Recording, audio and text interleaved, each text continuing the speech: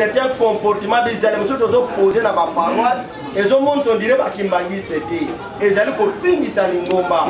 nde bisika tozali ntina nde tozali kosenga implication na biso omoni bacalendrier nyonso tozali kotya mikolo oyo okomona tozali koaline kaka bino bapapa na biso banganga nzambe ndakisa le 13 tokozala su na bacompetition mais tosali ba évaluation il y a des paroisses rencontre ya mardi meme motu moko akoti te paroisse mobimba na nsima kolanda na bokebi nyonso maloba ya tata mokonzi ya bule à travers lettre circulaire oyo asili kotinda na lingomba mobimba mpo na oyo etali etamboli ya bajeune to bandimi kimbangiste président provincial ya union de la jeunesse kimbangiste ville province de kinshasa papa tati keto azalaki elongo na banganga nzambe na kati ya reunion hebdomadaire mais ekosangisaka ba pasteurs communaux et sectionnaires ba chefs de mouvement service pe association ba membres ya bureau provincial nyonso ya ville province ya Kinshasa moye kotambusamaka na révérence Rubens Swaleng représentant provincial église kimbanguiste na ville province ya Kinshasa na maloba na ye président provincial ya union de la jeunesse kimbanguiste Ijiki abetaki sete mpo na kotalisa na banganga nzambe ya ville ya Kinshasa pe ko respecter mokolo ya mardi moye epesamela bilenge kimbanguiste kotalisa Eglise na banganga Nzambe implication na bango moye esengeli esalema mpo na koencadre bajene na mokolo ya mardi na baparoise na bango kipe lisusu maye mabongisami na mokolo ya le 13 septembre 2022 tintiani moye ekosalema mpo na kopesa maboko na misala ya botongi nkamba nouvelle jerusalem en general mpe en particulier te ya nzanza bisadi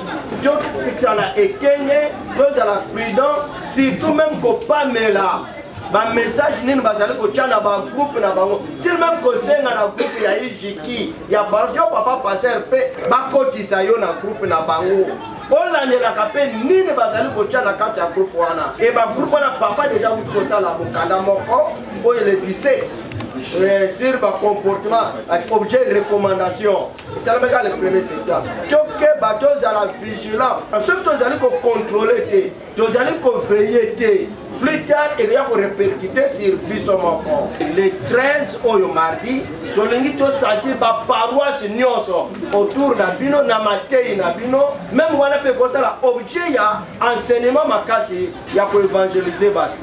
mpe ya suka papa asengaka biso 10 dollars na baparoise mingi merci tozali koyoka mpena baeko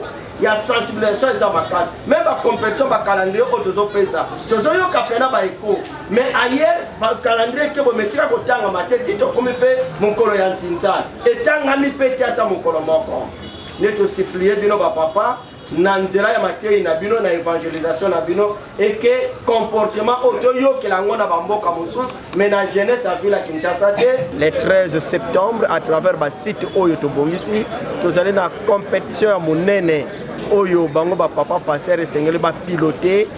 esengeli ba coache ndenge papa représente abeteli se te ke alingi kosentir implication ya bapapa pasteur implication ya bajeune nyonso et enfin tomeki kolobela lisusu likambo ya 10 dollars oyo tata mokonzi ya bule asengaki na ntina ya kosilisa chantier ya nkamba na nzanza bisali toremercie bapapa pasteur na engagement na bango mpe na ndenge basapproprie na encadrement ya jeunesse et surtout papa représentant provincial le premier jeune de la ville de kinshasa na implication na ye na dossier ya jeunesse voilà papa journaliste il reste à nous-mêmes jeunes tosapproprie yango mpe nde balobaka ntango moto ya professeur andimi koencadre yo moko mpe elève lakisa volonté ke ondimi encadrement wana donc jeunesse kimbangis papa alingi le comportement barbare te bacomportement oyo ezali koyokisa lingomba nsoni te mais to reflete réellement comportement ya bandi